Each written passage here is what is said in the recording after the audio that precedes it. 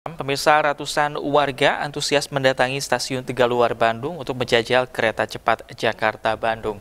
Karena masih tahap uji coba, warga bisa mencoba naik kereta cepat tersebut tanpa harus membayar. Namun, sebagian besar warga harus berjuang mendapatkan tiket tersebut.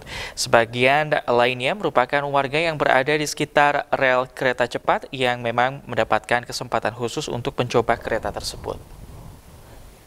Sejak pagi, ratusan warga mendatangi stasiun Tegaluar Bandung yang menjadi awal pemberangkatan kereta cepat Jakarta-Bandung menuju stasiun Halim.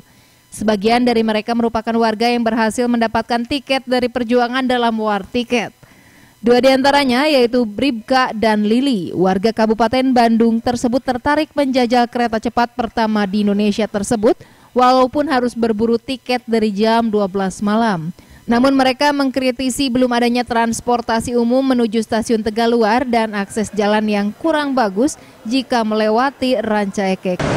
Agak susah ya karena belum ada transportasi umum juga kan yang melewati ke sini. Kalau misalnya naik kereta paling dari Cimekar atau dari Bagai ke sininya harus pakai kendaraan bis juga belum ada, paling juga dari Semerekon baru ada bis. Hmm. Jadi nggak langsung dari tengah kota ke sini ada transportasi umum. Iya. Tadi tadi naik apa jadinya? Kemudian tadi kita naik, naik motor. motor. Oh, naik motor ya. Cepet tapi ya udah ya. udah bagus jalannya ya. Uh, kalau yang lewat kota Bandung ya hmm. bagus. Hmm. Kita lewat belakang, lewat Pancai.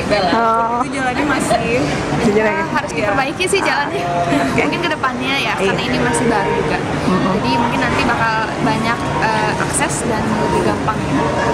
Dengan kecepatan hingga mencapai 350 km per jam dalam waktu setidaknya 45 menit, para penumpang tiba di stasiun Halim Jakarta setelah sempat berhenti di stasiun Padalarang Kabupaten Bandung Barat. Kesempatan menunggu selama 30 menit di stasiun Halim pun dimanfaatkan warga untuk berfoto di depan kereta yang memiliki eksterior unik dan terkesan mewah tersebut. Tiket gratis pergi pulang stasiun Tegaluar Halim tersebut masih bisa didapatkan warga untuk pemberangkatan 25 hingga 30 September 2023 hingga akhirnya kereta cepat diberlakukan untuk komersil pada 1 Oktober 2023. Budi Hartati, Bandung TV.